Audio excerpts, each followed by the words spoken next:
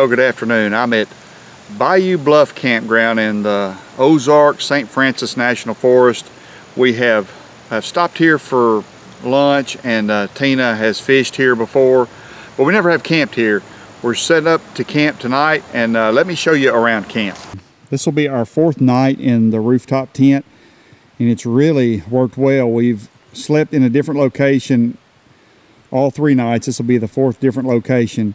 Two nights along the Cossatot River one night at Lake Sylvia Campground where we got showers and just kind of chilled out.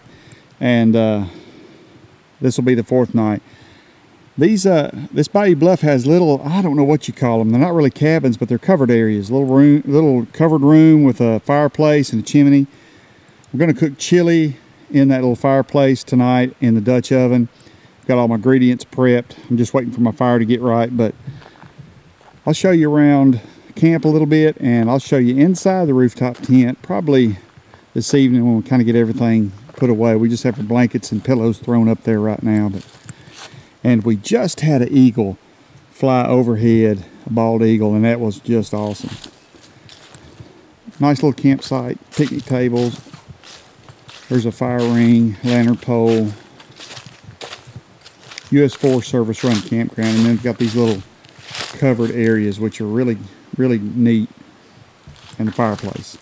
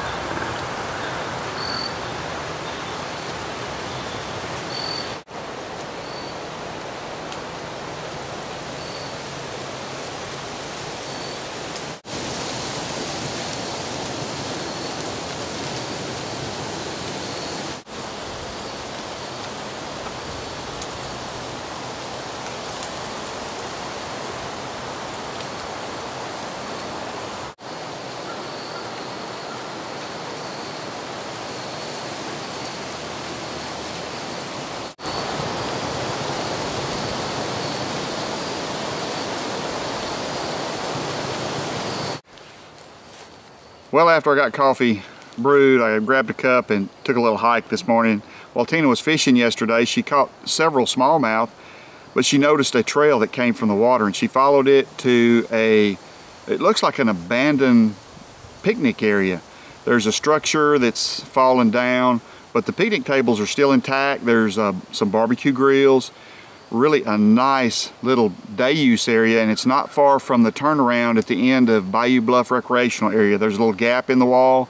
If you go through that gap and follow that trail, you'll come to that little day use area. Really nice area. If you continue through that day use area, there's a, a marked trail and there's there's placards that identify the different trees along the trail and at the end of the trail or towards the end of the trail there is this really nice picnic area with uh, it's got one picnic table a grill fire pit. You can see the mountains in the distance and Illinois Bayou below. It's just a really nice spot. I know when I think about bayous I think about slow moving muddy water. This couldn't be further from that. It is just beautiful. It's crystal clear got some shoals and rapids some really cool rock formations. It's just a really nice area and I don't think it gets a whole lot of use.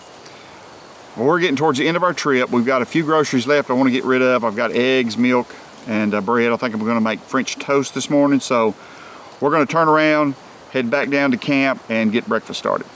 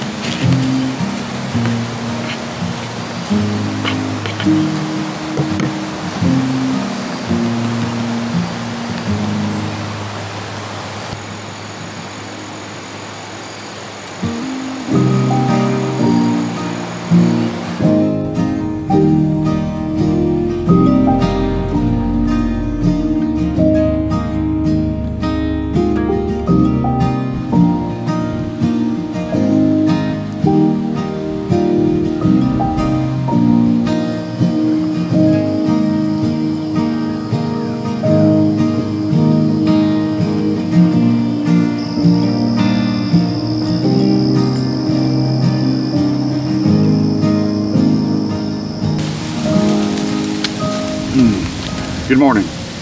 I'm at Lake DeGray. Actually, it's State Park on Lake DeGray. And I think there may be some dispersed camping around here. I'm gonna have to do some research. I'd like to come back here. It's really a really nice lake. Actually, we stayed at the lodge last night. We had uh, high winds yesterday, gust up to 30 miles an hour. We didn't want to go through that in the tent, so we got a room at the lodge for last night and uh, decided to hole up here beautiful lake, like I said. I wanted to tell you about the tent. We spent four nights in the tent and really had no issue at all. We spent, spent each night in a different location. And I know I didn't do a lot of video on this trip. It was mainly just to get away for Tina and I and uh, kind of check out the tent. But we did find some places that I want to uh, go back to and really do an extensive video on because they're really nice places. It's supposed to rain for the next couple of days, so I think we're going to head home this morning after breakfast So I'm going to close the video out here, but I wanted to leave you with some of the sights and sounds of Lake DeGray as I close the video out. I hope you enjoy it. Thanks for watching.